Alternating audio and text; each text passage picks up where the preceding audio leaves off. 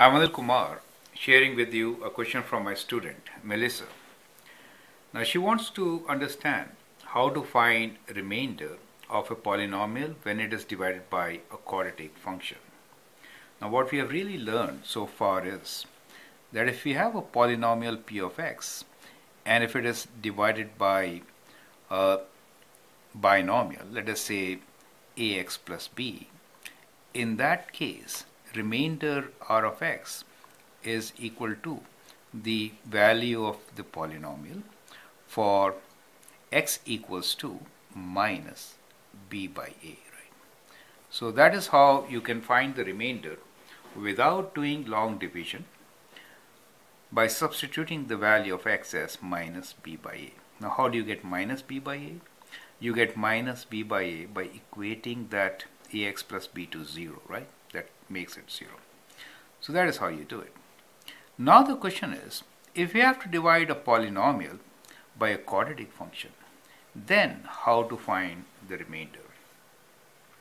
There are many ways to do it, and here is probably the simplest way, which I am going to discuss with you. So let's begin with this question itself. The question is, how to find remainder without division. Of course, you can do long division or synthetic division, to find the remainder, but we have to do it without division when a polynomial is divided by quadratic function. So let's rewrite this equation as x cube minus 2x plus 5 divided by now we can factor x square plus x minus 2 as product of minus 2 sum of plus 1 so that means x plus 2 times x minus 1. So we have to divide by this quadratic function. Now as you can see, if you divide by quadratic function, what kind of remainder do you expect? What should be the remainder? So we know the remainder should be linear, right? So remainder is 1 degree lower. 1 degree lower means in this case linear, which I could write as let us say ax plus b, general form. So what I'm saying is, let the remainder be ax plus b. Now we need to find the value of a and b and then we'll know what the remainder is. Okay, how to do that? We know something that we'll use this remainder theorem in parts. If I divide x cubed minus 2x plus 5 by x plus 2, then what is going to be the remainder? Let us do that part first, right? So, so what we have here is that this is the polynomial for us, right? This is the polynomial. So we can find the value of this polynomial for minus 2.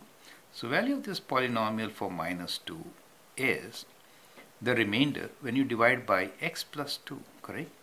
Uh, will be equal to, I'll substitute minus 2 for x. So we have minus 2 whole cube minus 2 times minus 2 plus 5. Now we are saying that remainder is of this form. So in that case, what we can do is we can write minus 2 for x. So if I write minus 2 for x, we get a times minus 2 plus b. So we get one linear equation. Let's simplify this a bit. So we have minus 8 minus and minus is plus 4 plus 5 equals to minus 2a plus b. Now this could be written as that is 9 minus 8 is 1 so we have 1 equal to minus 2a plus b. Let us call this as our equation number 1. Okay.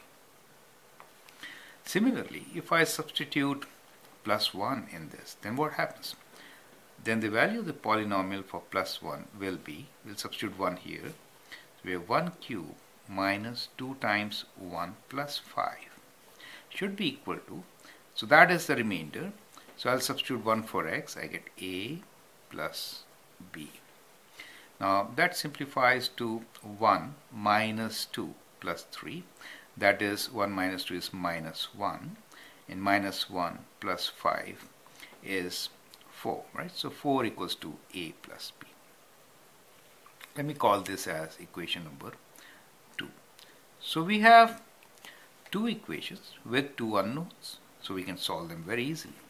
So if I subtract one from the other, let us say we do equation 2 minus equation 1, right? In that case, what do we get? Equation 2 minus 1. So if we do 4 minus 1. So that is, let me highlight these equations which we are working with and then we'll take away one from the other. Equation 2 minus 1, so we get 3 here, right, equals to a minus 2a, that gives us 3a. b minus b is 0. So we get 3a equals to 3 or we get a equals to 1. So we get one solution and that is a equals to 1. Now we can find the other solution. I mean, what b is, right? To get our solution. So we know a equals to 1. We can use one of these equations. Let us say a plus b is 4. You know, a plus b equals to 4. If I substitute 1 for a, I get b, right? So from here we can say b is equals to 4 minus 1, which is 3. Since we know what a and b are, we can say remainder is ax plus b, right? We started with ax plus b. So a is 1, b is 3, and therefore the remainder is 1 means x, b is 3 means x plus 3. So our answer is that the remainder is x plus 3, right? So that is how you could actually solve such a question. I hope that really helps. Thank you and all the best.